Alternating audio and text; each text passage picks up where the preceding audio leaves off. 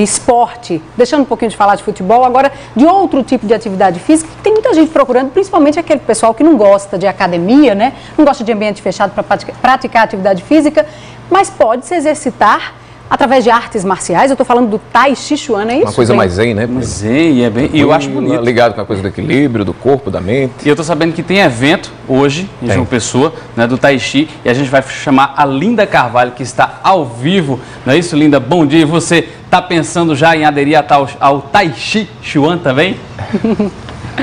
Olha, não é uma má ideia não, viu, Plínio? Mas brincadeiras à parte, vamos falar sério, porque hoje vai ser realizado aí um evento sobre o Tai Chi Chuan, a partir das 7 horas da noite aqui em João Pessoa. Na verdade, é uma palestra é, realizada pela Federação Paraibana. A gente vai conversar agora com um dos palestrantes, que é o presidente da federação, o professor Ancélio de Castilho. Professor, um minutinho aqui. Como é que vai ser realizado esse evento? O que, é que o público vai poder conferir lá? O evento é dia 23 aqui, como você colocou mesmo, e vai ser realizado em Natal, Rio Grande do Norte também, em Ponta Negra, dia 24.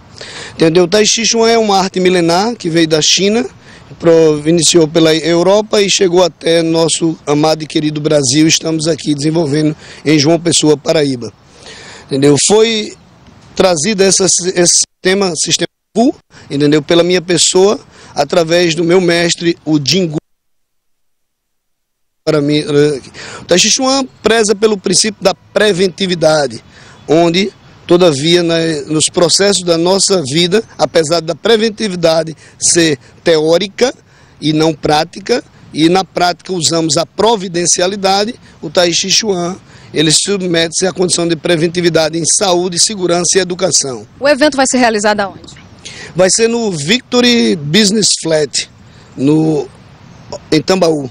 A gente está vendo aqui que o senhor trouxe um grupo. O que é que eles estão fazendo aqui? Esses acessórios aqui servem para quê? As atividades que ele estava fazendo recentemente, você viu, se chama sequência, entendeu? É uma forma que dá a capacidade de lateralidade, entendeu? Atividades é, é, psicossomáticas relacionadas ao processo sinestésico, entre outras coisas.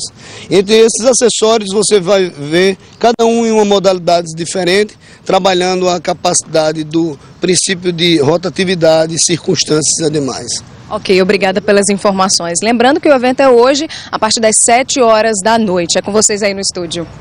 Obrigado, Linda. Eu Obrigado. acho que esse mundo louco que a gente vive hoje em dia, uma atividade dessa é fundamental. E essa prática engana, relaxa. Né? Engana um pouco. A gente pensa que são movimentos suaves, mas é preciso ter muita elasticidade né, no corpo para conseguir fazer. Está alongado para conseguir dar conta de todo esse movimento aí, né? Verdade.